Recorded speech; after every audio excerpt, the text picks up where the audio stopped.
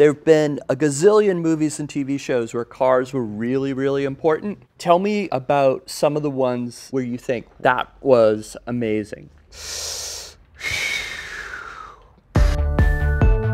is my secret life. This is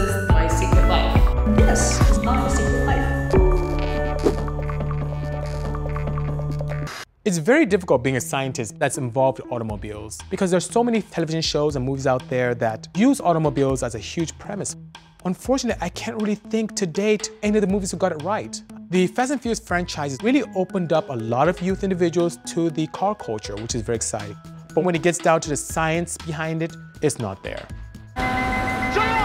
I hear very strange things like Motec exhaust doesn't exist, He ordered three T66 turbos and a Motec system exhaust. or blowing welds off an intake that doesn't really exist, You're lucky that 100 shot of NOS didn't blow the welds on the intake.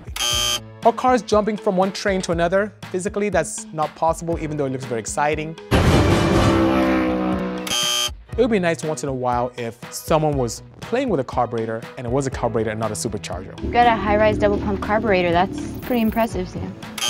How did your car end up in a Fast and Furious movie? I have about 23 cars in my storage facility, all unique, all pretty fast, all pretty loud.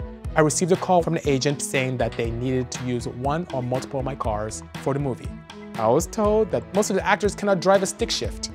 All of my cars are stick shift or manual transmissions. So I was advised that in the future, as I build cars that could be proper for movies, please have an automatic so it can sound and look good, but be easier for the actors to use. So my vehicle was used as a prop.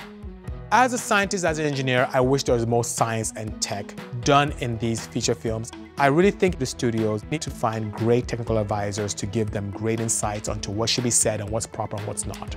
I'm available if anyone wants to use me as technical advisor. I'd be more than happy to assist.